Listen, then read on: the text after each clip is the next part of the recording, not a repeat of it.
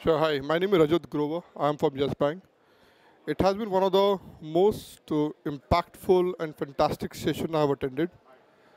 The thought process, what he carry, has also helped us to change our own thought process of how we take a leadership. A leadership is not only about talking about or living it. It's also about how people perceive and how you get people with you to get your work done. As well, in a cricket, one man cannot win a match same way. In a team, one man cannot do the, all the jobs.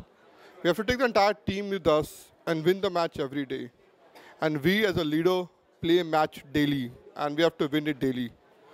So how we deal with stress, how we deal with expectations, how we deal with surroundings is very important for us and also to understand how we take it or use it for the success of the team and success for the organization and achieve both the bottom line and top line, which are very important for us. Thank you.